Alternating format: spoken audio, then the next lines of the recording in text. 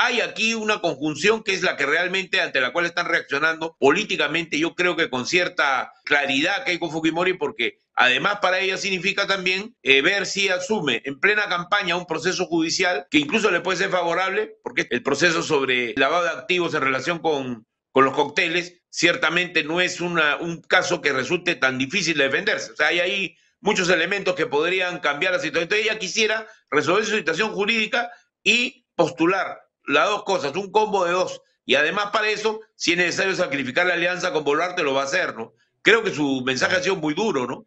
Ha sido un mensaje como diciendo, aquí estoy, y no solamente con Boluarte, sino que está también, ojo, ¿ah? cuadrando a su bancada del Congreso, que ha estado jugando con la bicameralidad de una manera muy torpe, ¿no?